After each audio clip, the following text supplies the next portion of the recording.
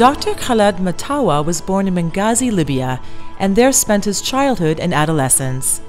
After emigrating to the American South in 1979, Khaled finished high school and received degrees in economics and political science from the University of Tennessee. In the beginning, I think uh, coming from a country and a situation where there was no real clarity as to what I was supposed to do. When I came to the United States, I was supposed to finish college in a field that was um, uh, supposed to be successful, such as architecture or business or whatever, and life would take care of itself from there on.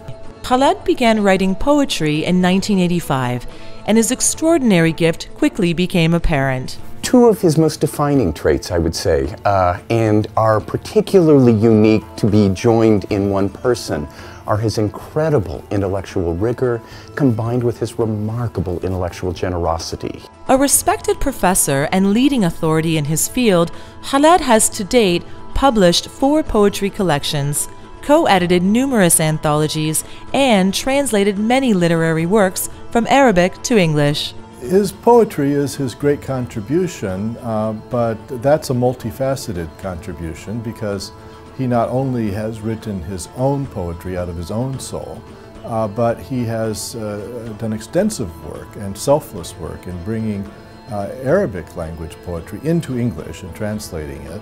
Khaled's outstanding accomplishments, along with his ability to create awareness and understanding through poetry between two regions that have struggled to identify with one another for decades, is a testament to his talent, influence, and leadership. Khaled, I would say, is driven by a deep and profound passion for justice in the world. He models and lives for us a, an ability to move among different worlds and to produce a kind of true, generous intellectual diversity that I think probably is the hope of our species, uh, and he is the best of that.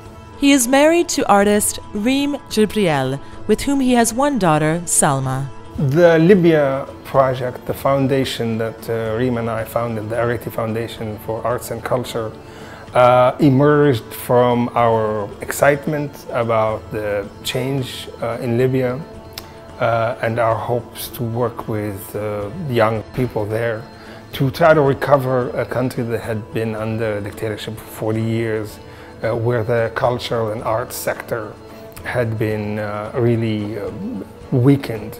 In 2014, Khaled Mattawa was among 21 people from around the country named a MacArthur Foundation Fellow. This most prestigious award in the academic world is known as the Genius Grant.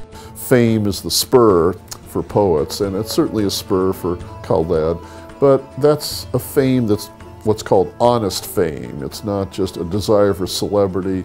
He wants to change the world. Those who don't know him are, are missing a gem of a person just because uh, his, uh, his wells of emotion, uh, human sympathy are so deep.